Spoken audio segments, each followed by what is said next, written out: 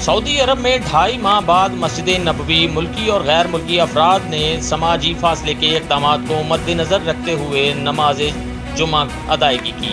Medina Munawwara में मस्जिद नबवी सल्लल्लाहु अलैहि वसल्लम में ढाई माह बाद आज जुम्मा की नमाज़ नए कोरोना वायरस से बचाव के लिए सख्त हिफाजती इकदाम की बुनियाद पर अदा की गई। इस मौका पर खुतबा में लोगों को आगाह किया गया कि कोरोना वायरस से बचाव के लिए इनफरादी ज़िम्मेदारियों की पाबंदी करते हुए किस तरह इस वबाई मर से महफूज रहा जा सकता है? ओपन हो गई है और ज़ायरीन के लिए खोल दी गई है और देखिए तमाम माशाल्लाह ज़ायरीन नमाज़ के लिए हाज़िर हैं और बड़े जोश व खरोश के साथ लोगों की आमद जारी है। अल्हम्दुलिल्लाह। जी अल्हम्दुलिल्लाह अल्लाह का बड़ा एहसान है करम है। अल्लाह ताला की करम नवाजी से मस्जिद नबी शरीफ में बड़ी रौनकें बहाल हो गई हैं और सऊदी हुकूमत के हम शुक्रगुजार हैं।